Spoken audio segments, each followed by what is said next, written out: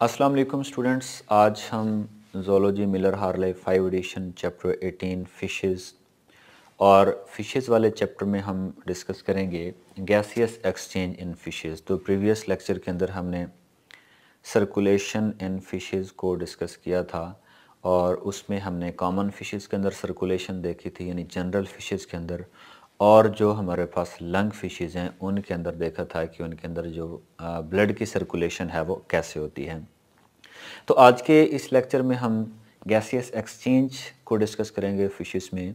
और स्टूडेंट्स अगर हम गैसियस एक्सचेंज की बात करें तो गैसियस एक्सचेंज के लिए भी देखें तो हमारे पास या तो एयर का मीडियम है या फिर वाटर का मीडियम है। एयर मीडियम के लिए जो गैसेस का एक्सचेंज है वो लंग्स के ज़रिए से होता है और जो वाटर मीडियम है, उसमें अगर किसी एनिमल ने गैसेस का एक्सचेंज करना हो तो उसके लिए उस एनिमल के पास गिल्स का होना ज़रूरी है। क्योंकि गिल्स एक ऐसी सरफेस है कि जिसके ऊपर से वाटर गुज़रता है तो जो गिल्स होती हैं, वो गुज़रते हुए वाटर में मौजूद जो डिज़ोल्व ऑक्सीजन होती है, वो उसको जज़ब कर लेता है। तो इस तरीके से उसी वाटर के अंदर जो कार्बन डाइऑक्साइड होती है, उसको रिलीज़ कर देता है। तो इस तरह से जो फिशेज़ हैं, उनके अंदर गैसेस का एक्सचेंज होता है, चूँकि फ़िशेज़ के पास लंग्स मौजूद नहीं होते, बल्कि गिल्स होते हैं एक्सेप्ट लंग फिशेज़ तो इसी को स्टूडेंट्स अगर हम देखें तो वो कहता है कि हमारे पास जो फिशेज हैं live in the environment that contain less than 2.5 of the oxygen present in the air यानी कि अगर हम एयर की बात करें तो जो एयर है, उसकी नस्बत वाटर के अंदर जो है, वो बहुत कम ऑक्सीजन प्रेजेंट होती है और वो कितनी होती है? 2.5 परसेंट यानी कि एयर की नस्बत only 2.5 percent oxygen is there present in the water लेकिन उसके बावजूद जो फिशेज़ हैं, वो टोटली तौर पर ये जो थोड़ी सी मकदार है हमारे पास ओनली 2.5 परसेंट जो हमारे पास ऑक्सीजन है, ये उसी के ऊपर जो है अपनी बॉडी का डिपेंड करती हैं। वो कहता है कि to maintain the level of oxygen in their blood stream the fishes pass large quantity of water across the gills to extract the oxygen present in the water. ये ऑलरेडी मैं बता चुका हूँ कि फिशेज़ के पास गिल्स होते हैं और गिल्स में से जैसे वाटर गुजरता है तो वाटर में मौजूद डिज़ोल्व ऑक्सीजन गिल्स में जज़ब हो जाती है और गिल्स में बॉडी से मेटाबोलिक मेटाबॉलिज्म के नतीजे में बनने वाली जो कार्बन डाइऑक्साइड है, वो गिल्स से वाटर के अंदर डिफ्यूज़ हो जाती है अब स्टूडेंट्स नेक्स्ट वो कहता है कि most fishes have muscular pumping mechanism अब इस पॉइंट को समझना है स्टूडेंट वो कहता है कि वाटर तो गिल्स में से गुजरता है जिससे गैसेस का एक्सचेंज होता है. लेकिन फिशेस के पास कौन कौन से वो तरीके हैं कि जिनके ज़रिए से फिशेज़ उन गिल्स के ऊपर से वाटर को गुजारती हैं? तो उसके लिए स्टूडेंट्स फ़िशेज़ कुछ ऐसी फ़िशेज़ होती हैं जिनके अंदर वाटर को बाहर से गिल्स के ऊपर पंप करने का मेकेनिज़्म होता है। कुछ ऐसी फ़िशेज़ होती हैं जो बाहर से अंदर की तरफ़ वाटर का नेगेटिव प्रेशर जनरेट करती हैं, जिससे बाहर से वाटर माउथ के अंदर या इनकी जो अपर कैविटी है उसके अंदर आता है और वहाँ से गैसेस का एक्सचेंज होता है। तो इसी पॉइंट को देखना, वो कहता है most fishes have muscular pumping mechanism to move the water into the mouth and pharynx over the gills and out of the fish through the gills opening. यानी कि माउथ के ज़रिए से वाटर आता है गिल्स में से गुजरता है और गिल की जो ओपनिंग होती हैं, उसमें से वाटर बाहर निकल के चला जाता है। तो जब गिल्स में से गुजरता है तो वो गैसेस का जो एक्सचेंज है, उसको वो नेक्स्ट वर्ड्स इसी मस्कुलर मैकेनिज्म को वो हमें थोड़ा एक्सप्लेन करने लगा है, समझिएगा बात को। वो कहता है कि muscle surrounding the pharynx and opercular cavity which is between the gills and operculum power this pump अब समझ लीजिए स्टूडेंट्स कि मिसाल के तौर पर ये माउथ है फ़िश का और ये साइडों वाले जो ओपनिंग्स हैं ना, इनको हम अपर कुलम कहते हैं अप यानी कि गिल ओपनिंग कहते हैं। इनके ऊपर भी कवरिंग होती है। माउथ से वाटर एंटर हुआ और निकलता है कहाँ से? अपर कुलम की ओपनिंग से। अपर कुलम क्या होती है? इन ओपनिंग की जो कवरिंग होती है ना, उसको हम अपर कुलम कहते हैं। अब दरमियान में फेरिंग्स है, वो कहता है कि फेरिंग्स और अपर कुलम के दरमियान जो स्पेस होती है उससे हम अपर कुलर कैविटी कहते हैं। उस कैविटी के अंदर कुछ मसल्स होते हैं। वो मसल्स क्या करते हैं? कंट्रैक्ट और रिलैक्स करते हैं, जिससे वाटर माउथ से अंदर आता है और अपर कोलम के ज़रिए से बाहर जाता है। तो इसलिए इससे वो कहता है कि मसल्स जो है, उनकी कंट्रैक्शन और रिलैक्सेशन वाटर को माउथ के अंदर पंप करती है और फिर वहाँ से जब वाटर गिल्स में से गुजर जाता है तो अपर कुलम की ओपनिंग से बाहर निकल जाता है। तो इस तरीके से जो पंपिंग सिस्टम है, यानी कि जो मसल्स हैं, वो वाटर को बाहर से अंदर की तरफ़ पंप करते हैं, जिससे वाटर गिल्स में से गुजरता है और गैसेस का एक्सचेंज होता है। पेशेंट का बहुत इंपॉर्टेंट शार्ट क्वेश्चन है, जो बहुत सारी यूनिवर्सिटीज़ के पेपर में आया होता है। इसको गौर से समझिएगा स्टूडेंट्स कुछ ऐसी फिशेज होती हैं कि जिनके पास वाटर को माउथ के अंदर पंप करने का मैकेनिज़्म नहीं होता। लेकिन उन्होंने ऑक्सीजन को ट्रैप करने के लिए वाटर भी गिल्स में से गुजारना होता है, लेकिन पंपिंग मैकेनिज्म भी नहीं होता। तो फिर इस प्रॉब्लम को सॉल्व करने के लिए फिशेज क्या करती हैं? फिशेज वाटर के अंदर मुँह खोलकर मुसलसल चलती रहती हैं, जिससे वाटर माउथ में से एंटर होकर गिल्स में से गुजरता रहता है और वो गिल से गैसेस का एक्सचेंज करती रहती हैं। तो मुसलसल फिशेज का मुँह खोलकर वाटर में चलना और उससे गैसेस यानी वाटर के अंदर स्विम करना और उसमें से गैसेस एक्सचेंज करना, इसे हम रैम वेंटिलेशन कहते हैं। यानी कि process of exchange of gases over the gill being the mouth open in the water तो इससे हम क्या कहते हैं? रैम वेंटिलेशन तो वही कहता है कि सम इलाजमो ब्रांक डेफिनेटली हमारे पास ये इलाजमो ब्रांक कार्टिलेजनस फिशेज हैं। वो कहता है some elasmobranch and open ocean fishes elasmobranch और ओपन ओशन के अंदर रहने वाली कुछ बोनी फिशेज ये दो की बात कर रहे हैं। एक इलाजमोब्रांक की दूसरा बड़े समंदरों के अंदर रहने वाली जो बोनी फिशेज हैं। दो की बात बता रहा है। Elasmobranch and open ocean bony fishes such as tuna. ये एग्ज़ाम्पल दिया है उसने। Maintain the water flow by holding their mouth open with swimming while swimming. कि वो स्विम भी करती रहती हैं और मुँह को खुला रखती हैं जिससे उनके माउथ में पानी आता रहता है और गिल्स में से गुजर कर निकलता रहता है जिससे वो गैसेस का एक्सचेंज करती हैं। सो so, इस किस्म की जो गैसेस का एक्सचेंज है इसे हम क्या कहते हैं? रैम वेंटिलेशन वो कहता है कि हमारे पास कुछ जैसे अगर हम इलाजम ब्रांक में बात करें ना तो हमारे पास कुछ ऐसी शार्क वगैरह भी होते हैं चूँकि ये भी इलाजम ब्रोंकाई से तल्लुक़ रखती हैं। तो इनके पास भी वाटर को पंप करने का मैकेनिज्म नहीं होता इसलिए ये भी माउथ को खुला रखती हैं और खुले माउथ के साथ साथ ये वाटर में स्विम करती रहती हैं और वाटर माउथ में से गुजरता है और गैसेस का एक्सचेंज हो जाता है। कि माउथ में से वाटर एंटर होता है, गिल से गुजरकर बाहर निकलता है। तो माउथ से वाटर एंटर होना और जहाँ से वाटर निकलता है ना, उनको हम कहते हैं गिल ओपनिंग्स। उन गिल ओपनिंग के ऊपर कुछ कवर होते हैं। वो जो कवर होता है ना, गिल्स का, उसको हम अपरकुलम कहते हैं। तो कुछ फिशेस के अंदर ही अपरकुलम होता है, कुछ के अंदर नहीं होता तो उन्हीं के बारे में बता रहा है कि लेकिन इनके अंदर अगर हम ये बात करें कि जो अपरकुलम है वाटर को पंप करता है तो ऐसा हरगिज नहीं है वो कहता है कि such fishes have gills bar with external flaps that close and form a cavity functionally functionally similar to that of uppercular cavity of the other. अब स्टूडेंट्स बात ये है कुछ ऐसी फिशेज होती हैं कि जिनके जो गिल्स हैं, उनके ऊपर वाटर पंपिंग मैकेनिज्म में से तो नहीं गुजरता। लेकिन उनमें जब वाटर माउथ से आता है तो वो जो गिल्स होते हैं, उनके अंदर ख़ास किस्म के छोटे छोटे सुराख होते हैं। उन सुराखों को हम कहते हैं गिल बार्स तो वो एक्चुअली एक ख़ास किस्म की स्पेस बनाते हैं जिसमें से वाटर गुजर कर बाहर जाता है। क्योंकि ऐसी फिशेज़ के अंदर चूँकि अपरकुलम नहीं होता, इसी वजह से उनके माउथ के अंदर ये गिल्स के करीब अपरकुलर कैविटी भी नहीं होती। तो कैविटी के ना होने की वजह से इनके अंदर कैविटी की जगह पर गिल बार्स होते हैं, जिसमें से वाटर मूव करके बाहर निकलता और उनके यहाँ गैसेस का एक्सचेंज होता है। स्टूडेंट्स वो कहता है कि हमारे पास कुछ ऐसी फिशेस होती हैं कि जिनकी जो आईज़ होती हैं, उनके करीब कुछ ओपनिंग्स होती हैं। वो ओपनिंग एक और अल्टरनेट रास्ता बनाती हैं वाटर का और वो ओपनिंग्स वाटर को आइज़ के करीब से अंदर लेकर आती हैं और गिल्स की तरफ़ लेकर जाती हैं।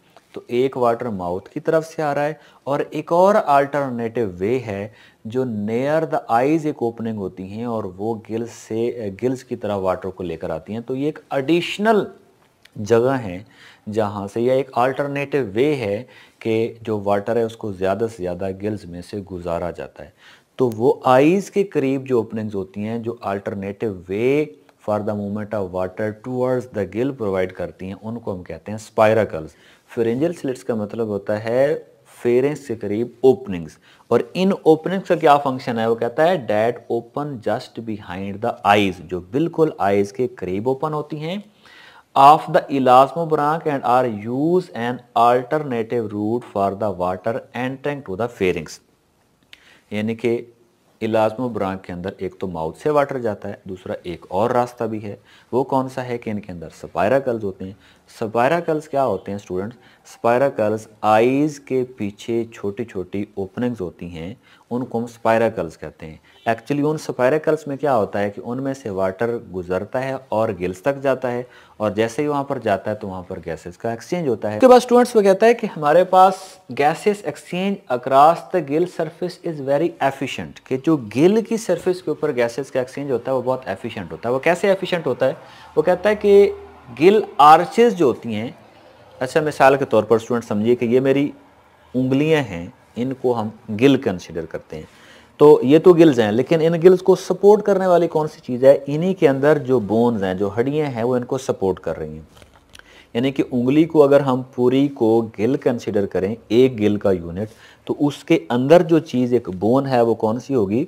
उससे हम कहते हैं गिल आर्चेज यानी कि जो गिल के अंदर सपोर्टिव स्ट्रक्चर है, उसे हम क्या कह रहे हैं? गिल आर्चेज यानी गिल बाहर होता है और उसके अंदर जो सपोर्टिव पार्ट होता है, गिल आर्चेज कहलाता है।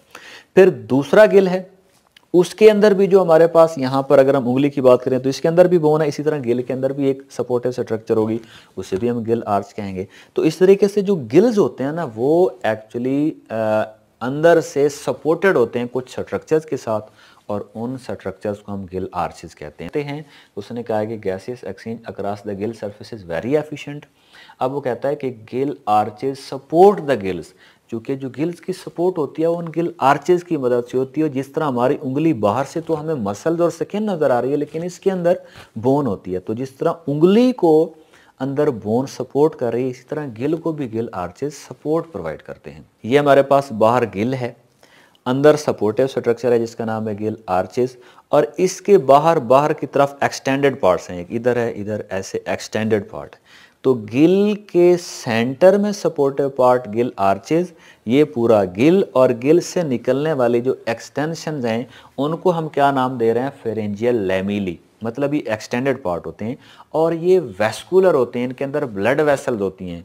तो ब्लड वेसल्स होने की वजह से गिल लैमिली जो है वो ज़्यादा सरफेस एरिया गिल्स का इंक्रीज कर देता है, जिससे ज़्यादा से ज़्यादा गैसेस का एक्सचेंज होता है, यानी कि ऑक्सीजन अंदर जाती है और कार्बन डाइऑक्साइड बाहर निकलती है। बॉडी से जो गिल्स की तरफ़ ब्लड लेके आ रही हैं, उनको हम ब्रेंकियल आर्टरीज करेंगे, जो ऑक्सीजनेटेड लेकर जाएँगी गिल से, उनको हम क्या कहेंगे? ब्रेंकियल वेन्स तो ब्रेंकियल वर्ड एक गैसियस एक्सचेंज की स्ट्रक्चर के लिए यूज़ होता है। तो यहाँ पर गैसियस एक्सचेंज वाले स्ट्रक्चर कौन सी हैं? गिल्स हैं।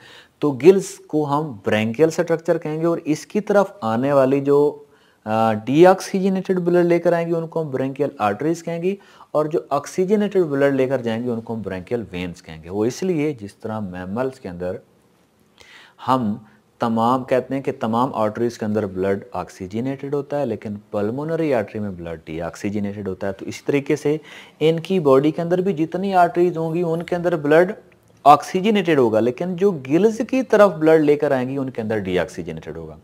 इसी तरीके से ह्यूमन बॉडी के अंदर जिस तरह तमाम वेन्स के अंदर ब्लड डीऑक्सीजनेटेड होता है, लेकिन पल्मोनरी वेन के अंदर ब्लड ऑक्सीजनेटेड होता है तो सेम इसी तरीके से इनके अंदर भी तमाम वेन्स के अंदर तो ब्लड डीऑक्सीजनेटेड होगा, लेकिन जो ब्रेंकियल वेन होगी, उसके अंदर ब्लड ऑक्सीजनेटेड होगा और वो ब्लड बॉडी की तरफ़ जा समझ लीजिए कि मेरा ये जो हाथ है, इसको आप एक गिल का पार्ट कंसीडर कर लें। अब अगर ब्लड इसमें यहाँ से इस डायरेक्शन में जा रहा है तो जो वाटर होता है, वो उसकी अपोजिट डायरेक्शन में जाएगा। तो इसको हम कहते हैं काउंटर करंट फ्लो फिर से पॉइंट समझिएगा।